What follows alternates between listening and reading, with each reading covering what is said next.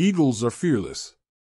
An eagle will never surrender to the size or strength of its prey. It will always give a fight to win its prey or regain its territory.